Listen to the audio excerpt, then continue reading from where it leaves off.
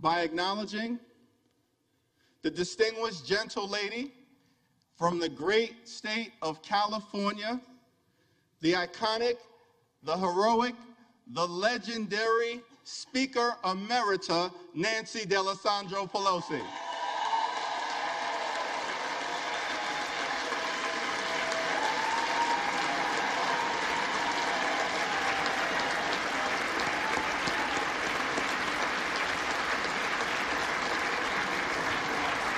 And without question in my mind, Speaker Emerita Pelosi will go down in history as the greatest speaker of all time.